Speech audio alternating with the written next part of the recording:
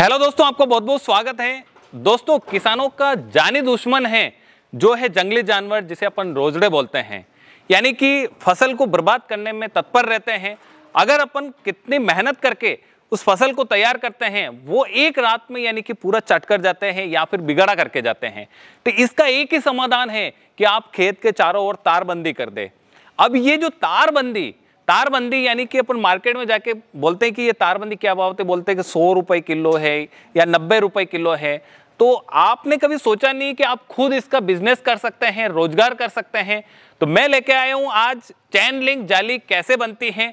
वो मशीन आज हम इस वीडियो में देखने वाले हैं लाइव प्रैक्टिकल देखने वाले हैं, कीमत क्या है और खर्चा कितना होता है पूरा ऑल ओवर इस प्लांट का। तो चलिए शुरू करते हैं। नमस्कार मैम आपका बहुत बहुत स्वागत है हमारे चैनल पर। सर आपका भी स्वागत है हमारी कंपनी एसके इंडस्ट्री में। जी सबसे पहले तो आप अपना परिचय दे दीजिए। सर मेरा नाम है भारती हमारी कंपनी का नाम है एसके इंडस्ट्री जो कि भिलवाड़ा राजस्थान के अंदर है। रेलवे स्टेशन से मैच पाँच मिनट का रास्ता है। जी। आज आप क्या दिखाने वाले हैं?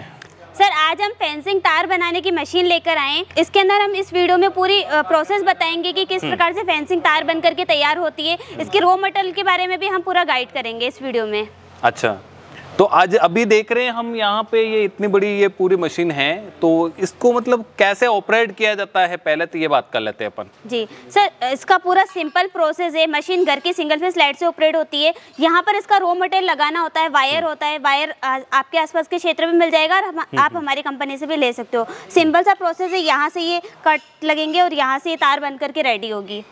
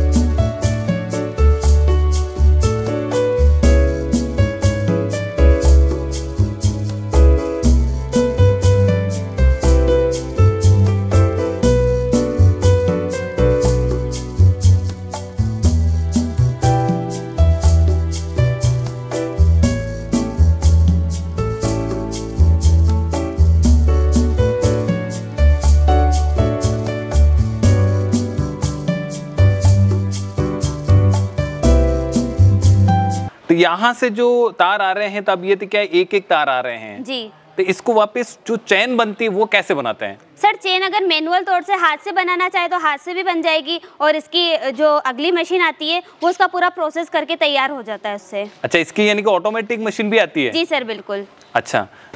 तो इसको ऑपरेट करने के लिए जो बिजली की आवश्यकता होती है वो सिंगल फेस में चाहिए या थ्री फेस में? सर थ्री फेस से भी हो जाती है और घर की सिंगल फेस लाइट से भी ऑपरेट हो जाती है दोनों ही ऑप्शन है। यानी कि घर की जो लाइट है वो हो जी सर बिल्कुल। इसमें मोटर की बात करते हैं तो कितने एचपी की मोटर लगी हुई है? सर इसमें पाँच एचपी की मोटर लगी हुई है। घर के सिंगल फेस लाइट से चलाना चाहे तो सिंगल फेस से भी चल जाएगी थ्री फेस से भी चल जाएगी। अच्छा जी। अब बात आती है की इसका जो रॉ मटेरियल है वो कहाँ से खरीदना पड़ता है? सर रॉ मटेरियल उनके आसपास के क्षेत्र में भी अवेलेबल हो जाता है। कोई हमारी कंपनी से लेना चाहता है दूर अगर वो कहीं और नहीं जाना चाहते तो हमारी कंपनी में भी मिल जाएगा। हर तरीके रॉ मटेरियल हमारी कंपनी उपलब्ध कराती है। अच्छा तो एक एवरेज अगर अपन माने कि मतलब जैसे अभी यहाँ पे देख रहे हैं आपने वो बंडल लगा रखा है पूरा। जी। तो ये एक बंडल मतलब कितने वेट का आता है और कितना खर्चा आता है? सर इस केजी के हिसाब से हम बात करते हैं क्योंकि मार्केट में जो मिलता है वो केजी के हिसाब से मिलता है। अच्छा। तो सत्तर से अस्सी रुपए केजी के हिसाब से मिलेगा। जो भी आज की डेट होगी उस टाइप से। जैसे अभी तो पिचानवे केजी के हिसाब से चल रहा है। हाँ अभी थोड़ा रेट हाँ, हैवी है। घटता बढ़ता रहता है मार्केट में प्राइस इसका जी। अच्छा अब बात करते हैं कि अगर रॉ मटेरियल अवेलेबल हो गया तो अब माइंड में चलता है कि पर डे कितना प्रोडक्शन कर देती है सर इस मशीन के द्वारा पर डे 700 से 800 केजी माल बना करके तैयार कर सकते हैं। अच्छा तो उसके बाद में जो यानी कि प्रोडक्शन तैयार हो जाता है तो उसको सेल करते हैं तो उसका मार्केट वैल्यू क्या रहती है?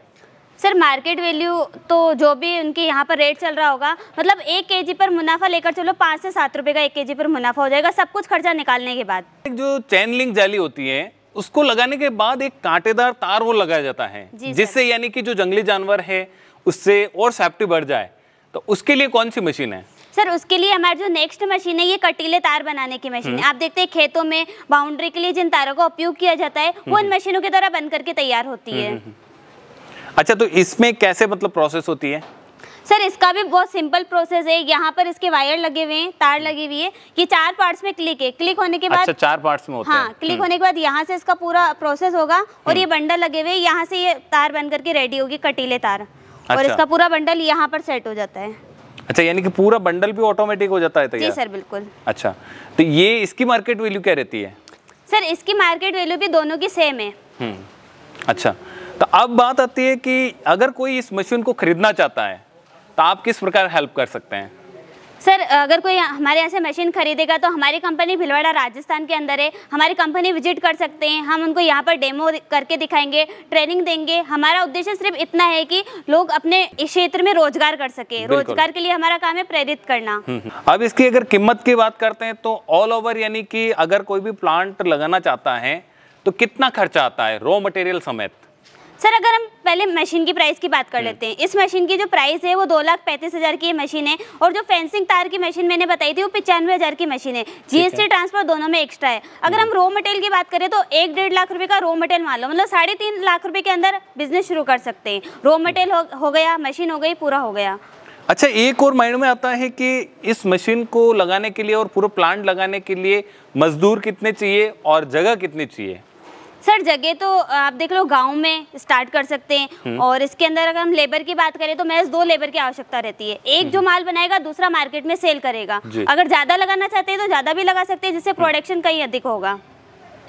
अब कोई भी इस मशीन को खरीदना है तो मतलब लाखों रुपए का इन्वेस्ट हो रहा है। जी सर। तो उसके माइंड में रहता है कि कोई इस पर वारंटी गारंटी भी मिल जाए। तो कितनी वारंटी मिलती है इस पे? सर मशीन की वन ईयर की वारंटी होती है। मशीन में तो कोई खराबी होती नहीं क्योंकि मशीन तो लोहे की बनी होती है। ठीक है। मेन अगर कभी खराबी आती है तो वो आती है मोटर के अंदर। मोटर चाहे तो वो हमारी कंपनी से ले सकते हैं चाहे तो उनके क्षेत्र से भी ले सकते हैं। चलो आपने बहुत अच्छी जानकारी दी है। बहुत बहुत धन्यवाद। सर आपका भी बहुत बहुत धन्यवाद। आप इतना दूर से यहाँ पर आए और अपने व्यूअर्स को जानकारी दिए जी जय सिया राम। जय सिया राम। दोस्तों वीडियो देखने के लिए आपको बहुत बहुत धन्यवाद। वीडियो अच्छा लगा है ज़्यादा से ज़्यादा शेयर करें लाइक करें।